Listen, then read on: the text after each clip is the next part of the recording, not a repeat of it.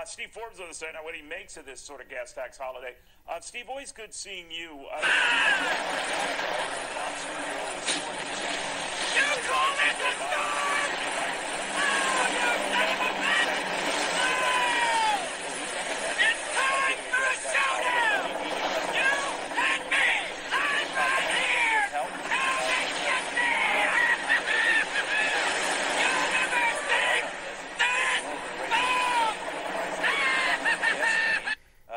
uh, probably a buck and a half, Okay, I'm glad I did that. just by Go on, Forbes. really harming production here in the United States.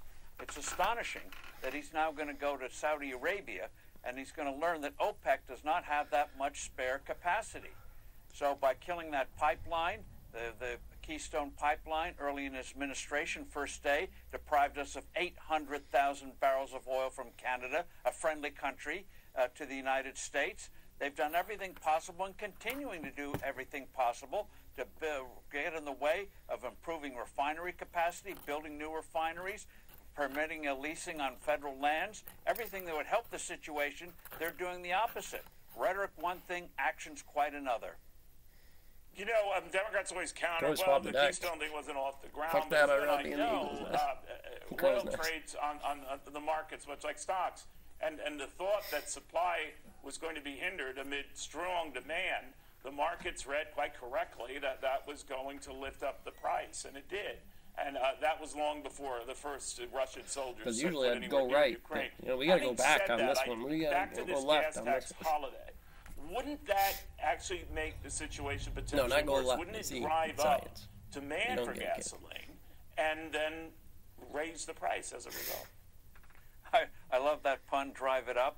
Uh, no, I think uh, the, a, lot, a, lot, a lot of people uh, are now giving very serious consideration to not doing a lot of driving this summer precisely because of the high price. So don't expect So, your uh, free cash flow and fixed you want a income to play price, out. You can you expect a down cycle. If, it, it's hard to want to do business with you. If, if I just had to ask, uh, and, then and you didn't tell me the truth, consequences because of a I'm going to look. I should just want to ask. I'm going to look because already in a hopefully the asking as that checks out. savings. And I'll just generally know whether you should do business with them or not. About now you're starting to see yeah, some this was obviously a down cycle. How come you made as still as much as you you did the years prior and the years prior, this or exponentially tax, more on that course? it. It's historic. just doesn't Every add up. They see, they Unless you got So, something, and it would be big. And as far as I know, one you ain't in charge gas of Tesla, Grab it, because you don't get much from this administration on tax relief. nor most of wonder, those um, OPEC you mountains. mentioned recession, and you know Like- it's all over the map as to when one will be coming, and uh, uh, some say we're in one now. Uh, where are you on this?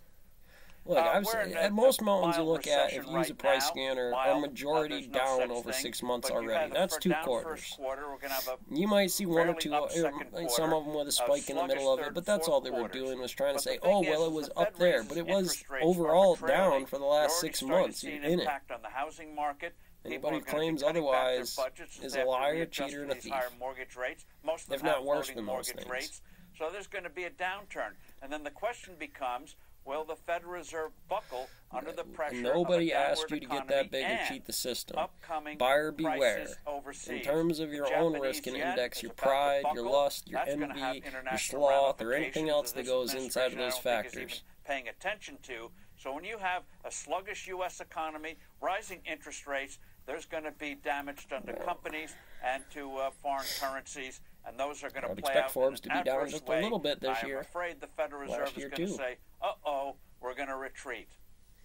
Well, that's how you hard Real it. quickly, Forty percent on wheat. argument is It's the like markets can't turn around. you knew it was coming. You could see it in the swing. I started buying up seeded farm, farm posts a while back ago That could be in electric wire for the fence. Uh, yes, it could. I knew that was coming, and instead of being the the way to fight grasshopper late for crypto winter inside here, you had a warehouse ready for it, a crew set up, and, and what you couldn't get in just materials from your own desk. 80s and early 1990s, Training crew uh, over to JetBlue, moderation was very fly the plane through the They should go back simulators and works. practice Instead of designs of who gets posted on those farms, the way to bring replace the people down. you do. Yes, it'll bring prices down Uh, as businesses going out of business sales. Yeah, prices get cut, but that's not the way to really fight inflation. Stable dollar's the Like, way you to go out and you enforce. You go hit one of the big ones. You go arrest very one of those girls jump on you. outside the Supreme Court house And ha- handling all of that. Tis the season for non-drowsy symptom relief from a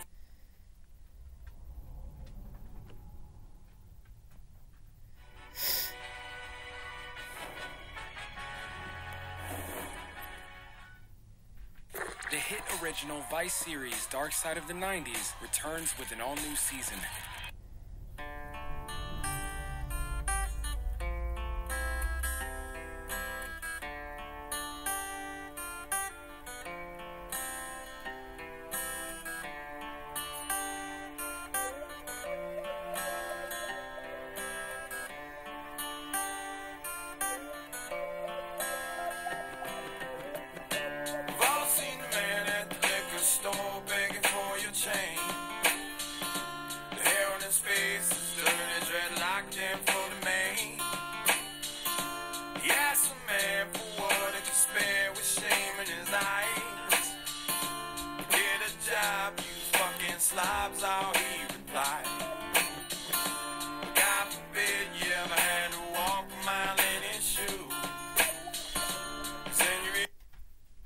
Let's get more reaction to this landmark listing. Joining us now is Steve Jang, founder and managing partner at Kindred Ventures and an early Coinbase backer. Steve, great to have you with us. Thanks for having me. Uh, first of all, did you sell? Did you sell any any shares? No, I did not. You did Total. not. Why not? Yeah.